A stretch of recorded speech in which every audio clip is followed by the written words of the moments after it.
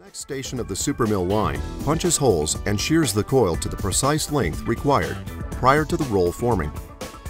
But this punching and shearing system is nothing like you've ever seen before. The B&K rotary punch and shear is a marvel of drive technology. An ingenious machine and tool design, this compact system can maintain impressive accuracy at high speeds.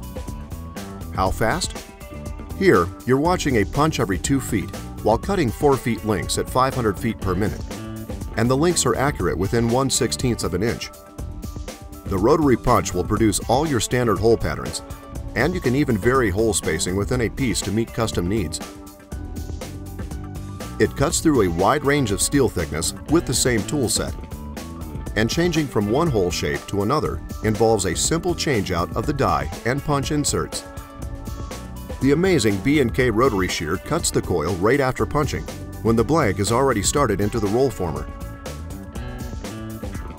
This pre-cutting method is more economical than post-cut because you don't need to buy different cutoff dies for different profiles and you don't lose valuable production time changing out cutoff tools.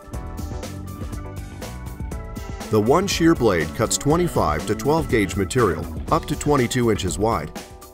The rotary shear is quiet, extremely accurate, and fast.